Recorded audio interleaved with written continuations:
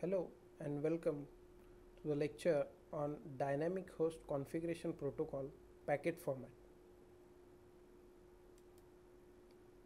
Learning outcome of this session. By the end of this session, student will be able to describe packet format of Dynamic Host Configuration Protocol used in computer networks.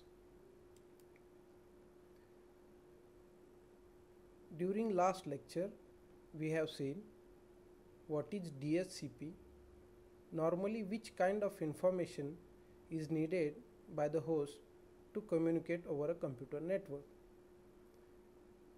How DHCP work when client and server are on the same network? And how DHCP works when client and server are on the different network and with the help of relay agent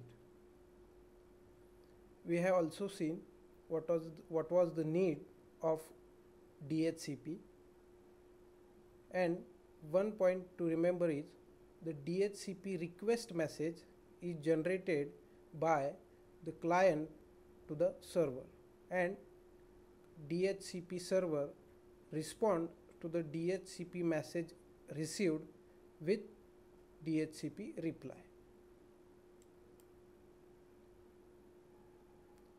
To start off with a packet format. In figure 1 you can see the DHCP packet format. The DHCP packet has different different 15 fields altogether. It has a maximum length of 300 bytes. We will discuss each field in detail. The first field is opcode or operation code field. This is a 8-bit field. This field defines the general category of the message. The message could be a request message or reply message. If this field contains a value 1, then the message is DHCP request generated by client and if this field contains value 2, then the message is reply from server to the client. The next field is hardware type. This field is also 8-bit field. This field defines the type of physical network. Different different physical networks are there like Ethernet, ARCnet and ATM. This field contains value 1 if the hardware type is Ethernet. The next field is hardware length. This is also 8-bit field which defines the length of physical address in bytes. For example, if the network is Ethernet then as we know the hardware address of Ethernet network is of 48 bit means 6 bytes. So this field will contain 6. The next field is hop count. This is also 8 bit field. This field defines the maximum number of hops the packet can travel in the network. The max count is set and as the packet travel from network to network this count is decremented by once. Once this count reaches 0 or becomes 0 the packet is discarded. The next field is transaction ID. This field is of 4 byte length. This field carries an integer value. This field is used to match a DHCP reply with respective DHCP request. The server returns the same value in its reply. It could be a case that DHCP client may generate multiple request messages. This transaction ID field is used to identify or match the respective reply received to the respective DHCP request. The next field in the packet is the number of seconds. This is a 16 bit field. This field indicates the number of seconds elapsed since the time client started to boot. the next field is flag field this is a 2 byte or 16 bit field out of 16 bits only the leftmost bit with pink color shown in the figure number 2 is used and the rest of the 15 bits are set to zeros. If this first leftmost bit is 1 then the message is forced broadcast from server to the client which is a forced reply.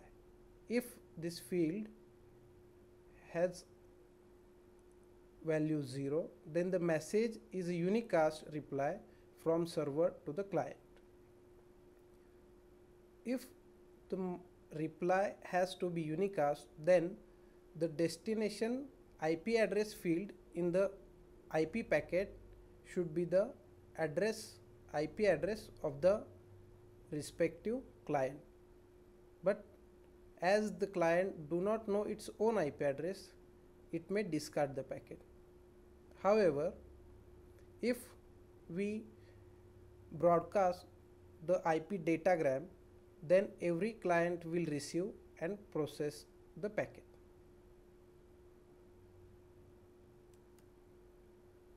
The next field in the packet is client IP address. As its name implies, it contains the client IP address and this is 4 byte long field. If client does not have this information means if client do not know its IP address this field has the value of 0. The next field is your IP address.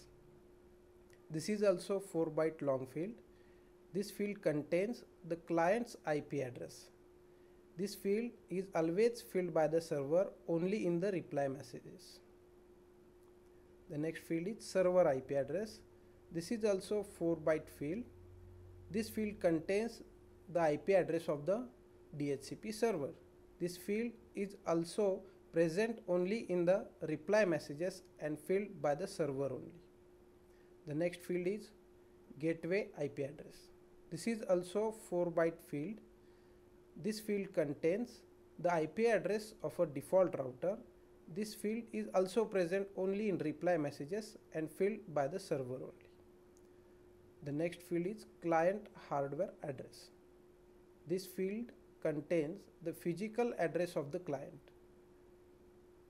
This physical hardware address of the client is explicitly supplied by the client in the request messages itself. the next field is server name field. This is a 64 byte long field. This field is optionally filled by the server in the reply packets.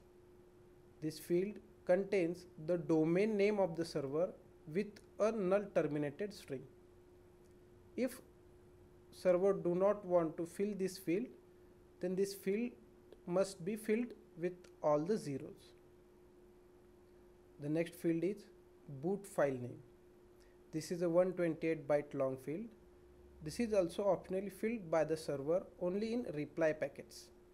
This field contains the full path name of the boot file terminated with null string this field is used by the client to retrieve the other booting information if the server does not want to fill this information in the field then the server must fill this field with all the zeros. The next field is option. This is a 64 byte long field. This field is only present in reply messages. This is not present in request messages.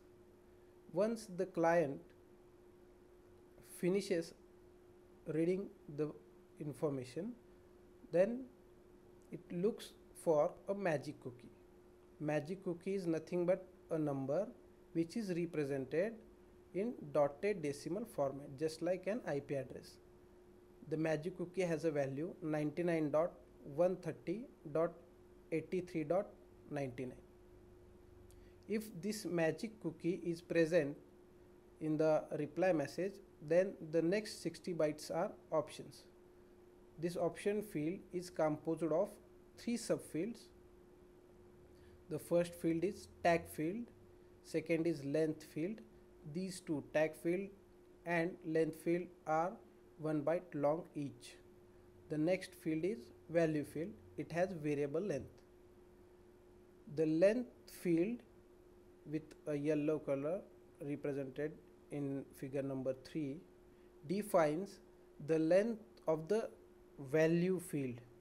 It does not indicates the length of this whole message. We have tabulated some tags and length and the value field options. Suppose if we have tag of 0 then this 0 tag is used for padding purpose which is used for alignment and which is just 1 byte long. The tag 255 indicates the end of option field. The vendor may use tag from 128 up to 254 supplies specific information of the vendor. And the rest of the tags from 1 to 53 are used for different different purposes.